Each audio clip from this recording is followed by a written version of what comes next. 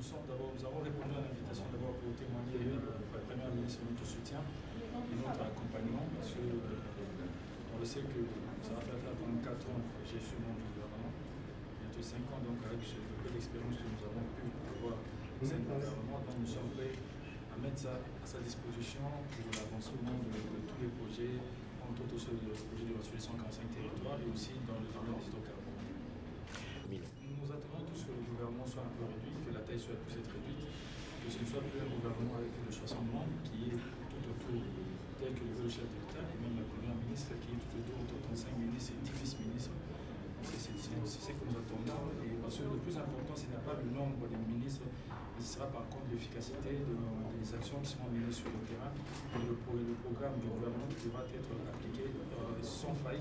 Je pense que c'est ça qui pourra permettre que les choses puissent aller de l'avant nous sommes tout à fait d'accord avec ça. Je pense que pour qu'un pays puisse aller de l'avant, il faut pouvoir mettre tout tout ensemble. Donc on parle de la probité morale, euh, la compétence, et aussi parler par rapport au nombre des députés pour pouvoir prétendre à un ministère. heureusement que nous sommes aussi allés à l'UDPS, donc nous savons comment les choses se passent et nous sommes derrière ces critères-là.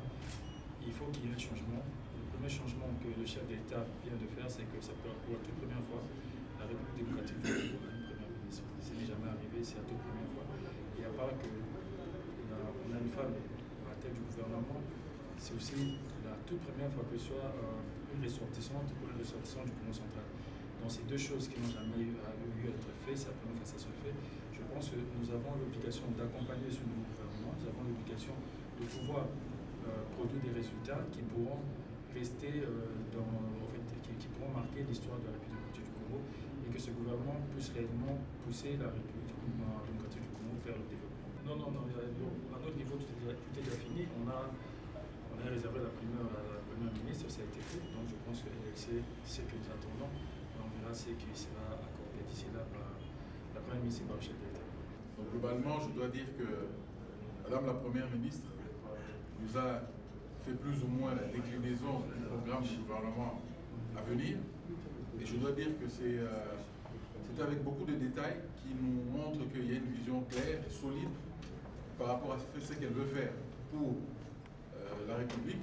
Et bien entendu, elle nous a parlé aussi de la composition du gouvernement, la manière dont ça sera fait, et euh, le conseil allant dans le sens de dire qu'on doit tous se mettre ensemble, se souder pour euh, faire avancer ce pays. Et j'ai aussi senti un souci de pouvoir aller vite dans la constitution du gouvernement, étant donné que, comme vous le savez, le pays a énormément de problèmes, non seulement liés à la guerre, mais d'autres problèmes de société. Et donc, il était euh, important, il est important pour elle de faire en sorte que les choses avancent vite. Et j'ose croire que très prochainement, nous aurons le gouvernement pour, cette, euh, pour la République démocratique du Congo, le plus rapidement possible. Donc je crois qu'ici, on va, on va vraiment rester le plus calme possible. On va laisser Madame la Première ministre composer son gouvernement, et bien entendu qu'elle devrait, en bout de ligne, euh, on va dire, finaliser avec le président de la République. Vraiment, on se dit, elle a le temps de composer tranquillement un gouvernement efficace pour le bien de cette République. Mais ça ne va pas quand même nous empêcher euh, d'arracher votre point de vue par rapport euh, aux critériums fixés par la Première ministre les critères euh, liés à la probité morale, à la compétence, à l'expérience. Quel est votre point de vue Elle a totalement raison. On a quand même besoin, c'est vrai, au-delà de la compétence, de la probité. C'est important d'avoir euh, les gens qui ont le sens de l'État, parce que, bon, malheureusement, parfois on fait de la politique un peu partout. Donc, je crois que l'État est au-dessus des individus. Et donc, il est plus qu'important de faire en sorte que vous avez parlé de la probité, de la compétence, et d'autres critériums qui feraient en sorte qu'on puisse avoir vraiment des hommes et des femmes capables de bien défendre la République et, de mener à bien justement euh, euh, le, travail que la, Première ministre est en train de vouloir faire pour le bien des Congolaises et des Congolais. Il a été question de brosser un peu la vision euh, du gouvernement, du prochain gouvernement, pour la matérialisation de n'est-ce pas, les six chefs de, l'État. Aussi, il était question de parler de la formation du gouvernement et des critères pour faire partie de ce, gouvernement-là. Et donc, nous avons retenu que euh, pour ces gouvernements, les regroupements doivent réaliser numériquement un minimum de 10 députés. Et puis, ce n'est pas seulement qu'il faut avoir les députés, il y a un critère, elle met l'accent sur les critères compétences. Donc, les membres qui vont faire partie de, de ce gouvernement doivent être des personnes assez compétentes et qui sont consciencieux, volontiers pour pouvoir matérialiser la vision du gouvernement. Elle a aussi mis l'accent sur euh, l'aspect genre, l'aspect genre, la jeunesse et la géopolitique. Voilà de quoi il a été question. Nous sommes un regroupement qui a des députés. Nous avons présenté nos attentes comme tout regroupement politique.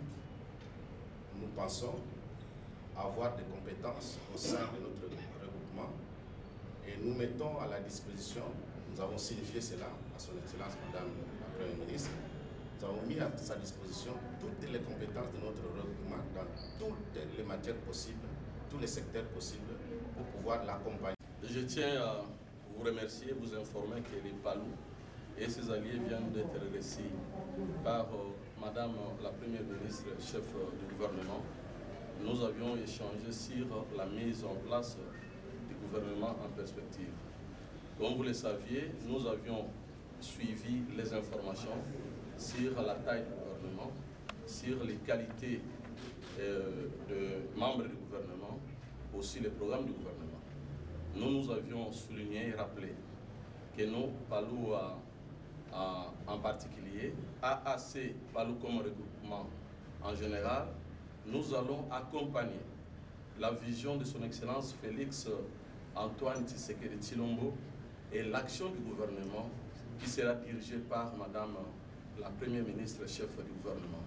Et nous avions rappelé sur le critère de nombre de députés pour avoir un ministère, il faut mettre aussi en place, c'est ce que nous avions souligné, et ça a été entendu, qu'on doit aussi considérer les poids sociologiques des partis mobilisés.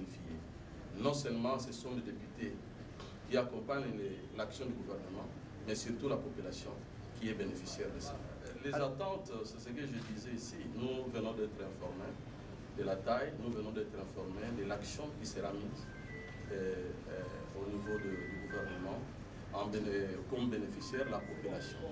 Et nous avions dû soutenir cette euh, action qui sera bien sûr votée, mise à la disposition des députés au niveau de l'Assemblée nationale et accompagner ce gouvernement de pouvoir réussir sur l'action gouvernementale et aussi la vision mise en place par le président de la République.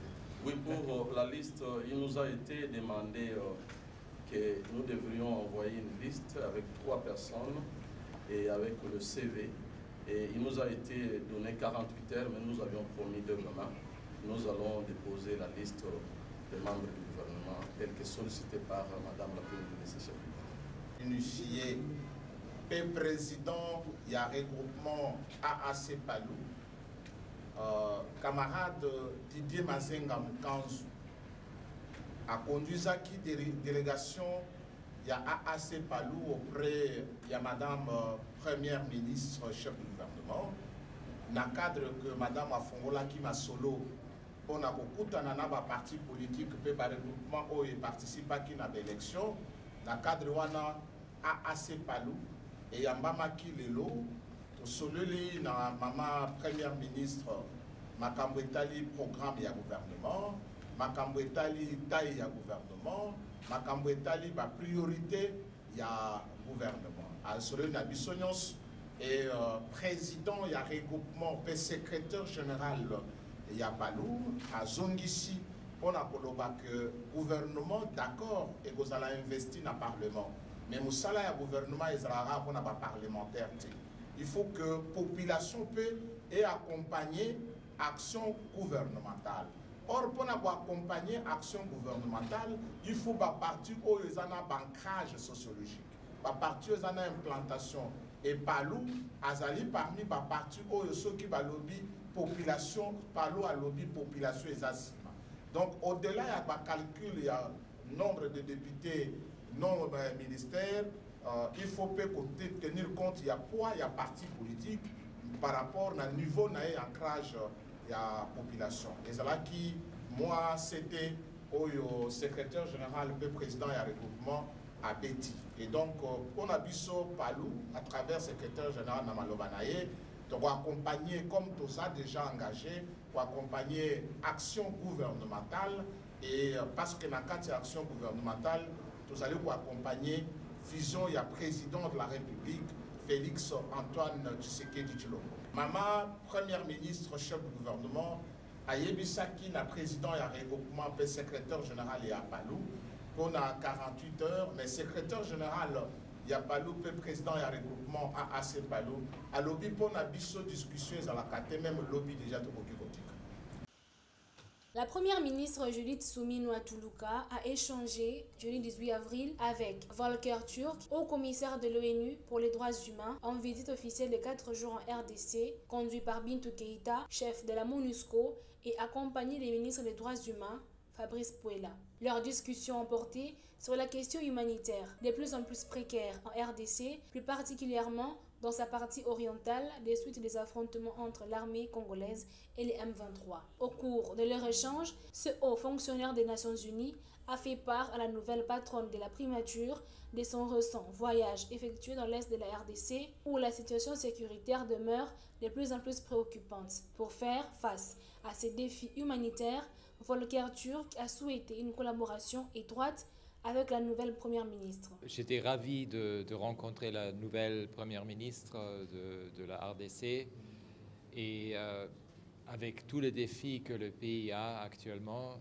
c'est clair, et on était d'accord là-dessus, que les questions des droits humains, de s'orienter vers la population, les populations et de, de mettre en sorte que les besoins des populations soient à la hauteur de, de l'attention du gouvernement euh, et que les droits humains sont quelque chose de transversal qui, qui affecte tous les secteurs de l'administration et de la gouvernance. Et on, a, on, avait vraiment un très bon, très, un, échange très fructueux et je me réjouis euh, à, l'idée d'avoir une, collaboration étroite entre mon bureau, les Nations Unies avec, et avec, le, avec la Première ministre et son cabinet. C'est clair que les nations, bon, la situation humanitaire, surtout dans l'Est, est précaire à cause de l'insécurité, à cause de ces vagues de déplacements, à cause de, la violence et des conflits.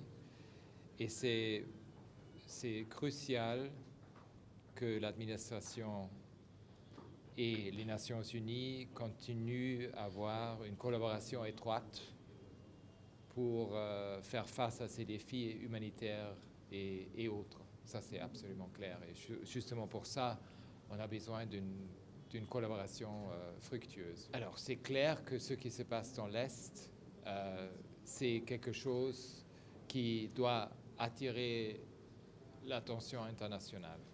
Et on va continuer à faire le plaidoyer, euh, surtout du point de vue des droits humains des personnes affectées, pour que ça, qu'on trouve une solution à cela.